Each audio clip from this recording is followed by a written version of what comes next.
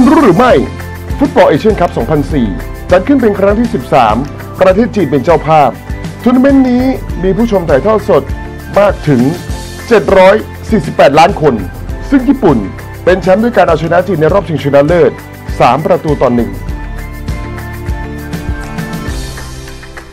ช่วงที่ 2 ของรายการครับ ก่อนที่เราจะไปดูผลการแข่งขันเทนนิสที่ออสเตรเลียนะครับ เราไปเริ่มกันที่ media watch กันก่อนครับ เรามีความเคลื่อนไหวอาการของ โมฮัมหมัดอาลีครับล่าสุดเจ้าตัวต้องเข้าโรงพยาบาลอีกครั้งหนึ่งครับติดตามในมีเดียวอชครับ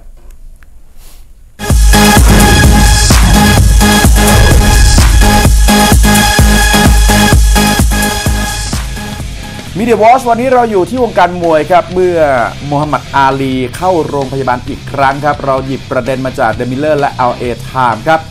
ฝั่งของเดมิเลอร์ระบุข่าวว่าอาลีนั้นถูกหามส่งเข้าโรงพยาบาลด่วนครับ หลังจากที่แหล่งข่าวนั้นเปิดเผยว่าร่างกายไม่มีการตอบสนองครับ หลังจากเข้านอนตั้งแต่คืนวันอังคารแล้วก็ยังไม่ตื่นเลยนะครับในช่วงบ่ายหรือช่วงเย็นครับรวมๆแล้วอาลีหลับไปประมาณ 24 ชั่วโมงครับและครอบครัวของอาลีคิดว่าเขาหลับนาน เนื่องจากว่ามีอาการอ่อนล้า ตอนนี้อาลีเข้ารับการตรวจร่างกาย ซึ่งยังไม่ทราบผลการตรวจนะครับและแพทย์ต้องการให้เขาพักผ่อนให้มากฝ้ากของ LA Time ครับรายงานแย้งกับมิลเลอร์ครับโดยอ้างคำสัมภาษณ์ของบ๊อบกันเนลครับโฆษกประจำตัวของอาลีเขาบอกว่าอดีตแชมป์โลกผู้ยิ่งใหญ่เข้าพักรักษาตัวที่โรงพยาบาลอีกครั้ง เพราะมีอาการติดเชื้อทางเดินปัสสาวะกำเริบ ส่วนข่าวที่ว่าร่างกายของเขาไม่ตอบสนองนั้นไม่เป็นความจริงแต่อย่างใด นับเป็นการเข้าโรงพยาบาลครั้งที่ 2 ในรอบ 4 สัปดาห์ และคาดว่าอาลีจะออกจากโรงพยาบาลในช่วงวันศุกร์ครับ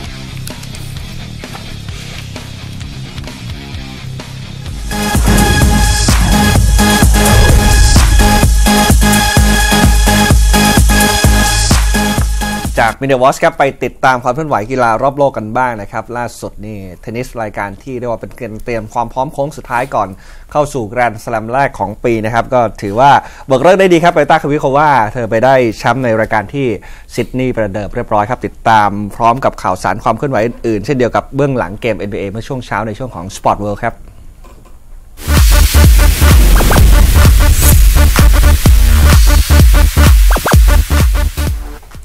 เปตราควิโควาครับ ก็สามารถเอาชนะคาโรไลนาพริสโควาไปคว้าแชมป์การแข่งขันในเทนนิสหญิงครับ รายการ WTA Tour AP International Sydney กันรวมรวม 731,000 เหรียญสหรัฐเป็นเงินไทยประมาณ 23.39 ล้านบาท แข่งกันที่นครซิดนีย์ประเทศออสเตรเลียนะครับ ก็นี่ก็ถือว่าเป็นแชมป์รายการนี้สมัยแรกของควิโตวาด้วยนะครับ ก็ถือว่าเป็นมือเต็งอยู่แล้วครับ เป็นมือวานอันดับ 2 ของรายการจากสาธารณรัฐเช็กนะครับ ในการที่จะเร่งฟอร์มเก่งก่อนเข้าสู่ Australian Open ที่จะมีขึ้นในสัปดาห์หน้านี้แล้ว เธอก็สามารถคว้ารายการ AP International Sydney มาครองได้เป็นสมัยแรกครับ ถือว่ารอบชิงในพลิกล็อกหน่อยครับ ไปเจอกับคาโรนาพริสโกวาคู่แข่งเพื่อนร่วมชาติ ซึ่งถือว่ามือดับรองกว่าเยอะเลยที่พลิกล็อกเข้ามาสู่รอบชิงได้ ก็ไม่ผิดคาดอะไรนะครับพี่นวัสกอร์สูสีมากทีเดียวกว่าที่คาวิโตว่าเอาชนะไปด้วยสกอร์2เซตรวด7ต่อ6ไทยเบรก7ต่อ5เซตที่ 2 ก็ชนะ7ต่อ6 tiebreak 8 ต่อ 6 นะครับ ก็ถือว่าน่าสนใจเหมือนกันครับพลิสโควาเนี่ยอนาคตเราจะไปได้ไกลขนาดไหนนี่เกือบได้แชมป์เหมือนกันครับ Petra Kvitova in the second set tiebreaker as well as her coach. เราไปดูบาสเกตบอล NBA กันบ้างครับ เจมส์ฮาร์เดนนั้นทำคนเดียว 31 แต้มครับ ช่วยให้ฮิวสตันร็อกเก็ตส์ เปิดสนาม Toyota Center ครับ เอาชนะโอคลาโฮมาซิตี้ทันเดอร์ไป 112 ต่อ 101 ในบาสเกตบอล NBA เมื่อช่วงเช้าที่ผ่านมานะครับ โดยที่ฮาร์เดนนั้นชู้ตไป 17 แต้มใน quarter แรกครับทำให้ร็อกเก็ตส์ออกนำห่างถึง 40 ต่อ 18 และยังพลาดการทำ triple double ไปอย่างน่าเสียดายครับ ด้วยการทำอีก 10 แอสซิสกับอีก 9 rebound ครับ อย่างไรก็ตาม นี่เป็นการทำ 30 แต้มต่อเกมเป็นครั้งที่ 17 แล้วใน season นี้นะครับของฮาร์เดนทำให้เขากลายเป็นผู้เล่นที่ทำคะแนนสูงสุดใน NBA เวลานี้ครับ ส่วนเควินดูแรนท์ทำไป 24 แต้มกับอีก 10 rebound ครับให้กับ OKC แต่ก็ยังไม่พอที่จะรอดพ้นจากความพ่ายแพ้ เป็นเกมที่ 3 ในรอบ 4 เกมหลังสุด ส่วนเกมรับที่ย่ำแย่เนี่ยเสียไปถึง 40 แต้มใน quarter แรกนะครับนับเป็นการเสียแต้มใน quarter แรกมากที่สุด นับตั้งแต่ย้ายทีมมาอยู่กับ OKC เมื่อปี 2008 ครับ นอกจากนี้ชัยชนะในครั้งนี้เนี่ยนะครับยังทำให้เควินแม็กเฮลครับตำนานผู้เล่นระดับ Hall of Fame ของ Boston Celtics โค้ชของ Rockets กลายเป็นหัวหน้าโค้ชที่พาทีมคว้าชัยได้ครบ 200 แมตช์นับตั้งแต่ผันตัวเองมาเป็นโค้ชเมื่อปี 2005 ให้กับ Minnesota Timberwolves นะครับ โดยเกมต่อไป OKC จะเล่นในบ้านเจอกับ Golden State Warriors ครับ ในวันศุกร์เช่นเดียวกับ Rockets ที่จะเล่นในบ้านต้อนรับ Warriors ในคืนวันเสาร์ครับ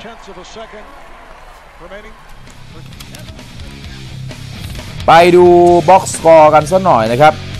OKC แต้มสูงสุดเป็นเควินดูแรนท์นะครับ 24 แต้ม 10 รีบาวด์1แอสซิสต์ครับ ตามด้วยรัสเซลเวสต์บรูก16 แต้ม 8 รีบาวด์8แอสซิสต์ เรจี้แจ็กสัน 16 แต้ม 6 รีบาวด์ 6 แอสซิสต์ครับ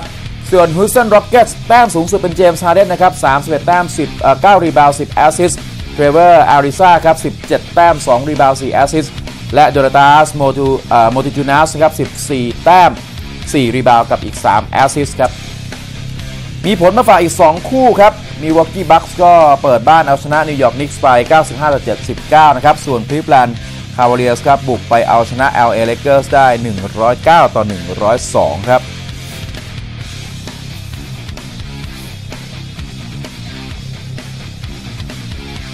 ไปต่อกันด้วยข่าวในวงการ NBA นะครับ เรื่องนี้เป็นข่าวที่น่าสนใจว่าอาจจะมีสถิติใหม่แบบนี้เกิดขึ้นที่การที่พ่อเป็นโค้ชแล้วลูกเป็นผู้เล่นโดยที่ได้ลงสนามด้วยครับ โดยที่ทาง ออสตินริเวอร์ครับก็มีโอกาสลุ้นสร้างประวัติศาสตร์หน้าใหม่กับวงการ NBA ครับ เพราะว่าเขาได้มีโอกาสย้ายไปร่วมทีม Los Angeles Clippers ซึ่งมีด็อกริเวอร์สคุณพ่อของเขาเองทำหน้าที่เป็นหัวหน้าโค้ชในทีม LA Clippers นะครับก็เจ้าตัวนั้นได้ย้ายมาร่วมทีม LA Clippers จากการเทรด 3 ทางกับ Boston Celtics และ Phoenix Sun นะครับหลายต่อเหมือนกันโดยที่พวกเขาต้องยอมปล่อย Reggie Bullock ผู้เล่นดราฟต์รอบแรกให้กับ ทาง Phoenix Sun แล้วก็คริสดักลัสโรเบิร์ตรวมไปถึงสิทธิ์ในการดราฟต์รอบ 2 ของปี 2017 ให้กับเซลติกด้วย นอกจากนี้เซลติกก็ยังได้ตัวชาฟลิกแรนดอล์ฟจากฟีนิกซ์ซันส์อีกต่อหนึ่งด้วยนะครับหลายชิ่งนิดหนึ่งโดยก่อนจะมีการเทรดครั้งล่าสุดนี้ Rivers คนลูกเพิ่งถูกเทรดมาจากนิวออร์ลีนส์เพลิแกนส์มาอยู่กับบอสตันเซลติกเมื่อ 3 วันที่ผ่านมานี่เอง และการย้ายทีมต่อเนื่องมาอยู่กับทีมของคุณพ่อเขาเองในครั้งนี้ก็จะทำให้ออสตินริเวอร์มีโอกาสลุ้นสร้างประวัติศาสตร์นะครับในการที่เป็นลูกคนแรกที่ลงสนามให้กับทีมที่มีคุณพ่อเป็นโค้ชด้วยตัวเองนะครับ ซึ่งก่อนหน้านี้ย้อนไปในปี2 2010 นี่เกือบจะเกิดขึ้นมาแล้วนะครับ เนื่องจากว่าโคบี้คาร์ลก็มีโอกาสได้ย้ายไปอยู่ทีมเดียวกับคุณพ่อก็คือจอร์จคาร์ล ในทีม Denver Nuggets แต่ว่าโคบี้คาร์ลสุดท้ายแล้ว แม้จะมีพ่อเป็นโค้ชแต่ว่าเขาไม่ได้ถูกลง ส่งลงสนามกับต้นสังกัดแต่อย่างใดนะครับต้นจากนี้ครับก็ยังมีการถามด็อกริเวอร์สว่าการเข้ามาของลูกชายเนี่ยจะทำให้เขากลายเป็นผู้เล่นคนโปรดสำหรับโค้ชหรือไม่ โค้ชคนเก่งก็ตอบทันทีเลยครับว่า โอเคครับเขายังรักลูกชายแต่ยังไงก็ตามเบรกกิฟฟินแล้วก็คริสพอยังถือเป็นผู้เล่นคนโปรดที่สุดในทีมของเขาอยู่ดีนั่นเองครับ Austin Rivers, right-handed runner. Been a good night for the Rivers family. ยังมีข่าวสารในวงการกีฬาโลกให้ได้ติดตามกันต่อนะครับ ติดตามในสรุปข่าวครับ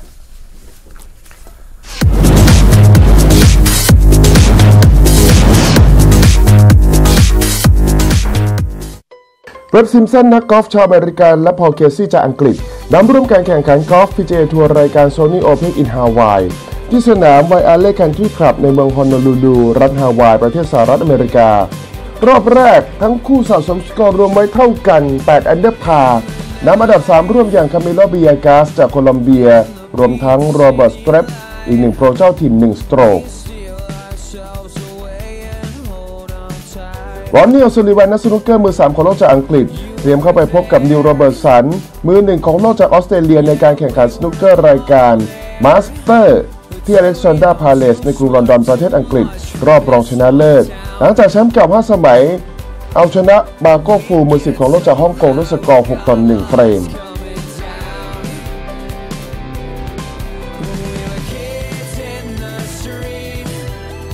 แอนดี้เมอร์เรย์นักเทนนิสหนุ่มมือ 6 ของโลกจากสหราชอาณาจักร เตรียมใช้สัญลักษณ์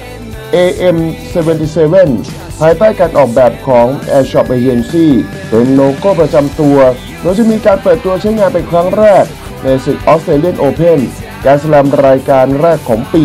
ที่กำลังจะเริ่มขึ้นช่วงต้นสัปดาห์หน้า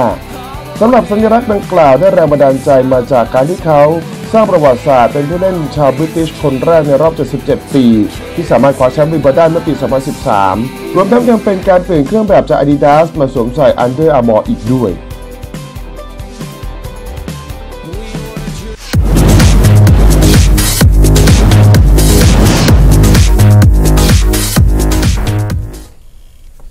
ก็คุณผู้ชมครับ ส่งท้ายในช่วง Sport World นี้ถามประชาสัมพันธ์สำหรับแฟนกีฬาตัวจริงที่อยากจะมีประสบการณ์ร่วมใน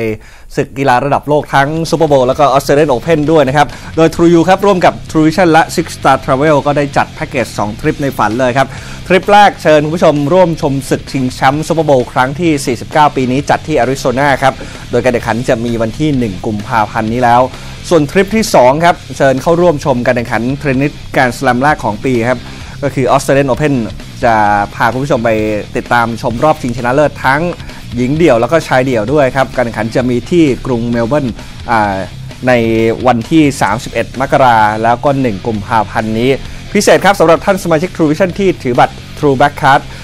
ก็จะได้รับส่วนลดทั้งทริปศึกคนชนคนซูเปอร์โบว์แล้วก็ศึกขวดลูกสักหลาดออสเตรเลียนโอเพนด้วย สนใจติดต่อได้ที่บริษัท Six Star Travel ครับติดต่อสอบถามหมายเลขโทรศัพท์ได้ที่ 027129800 ครับ 027129800 ด่วนครับแพ็กเกจนี้มีจำนวนจำกัด แล้วก็เวลากระชั้นเข้าไปทุกวันแล้วด้วยนะครับ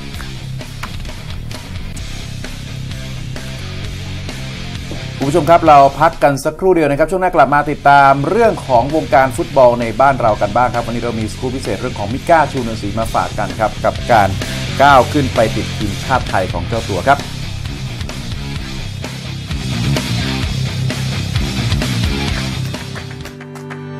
16 มกราคม ปี 1968 การแข่งขัน NHL All-Star ครั้งที่ 21 โตรอนโตชนะรวมดารา 4 ต่อ 3 แข่งขันที่โตรอนโต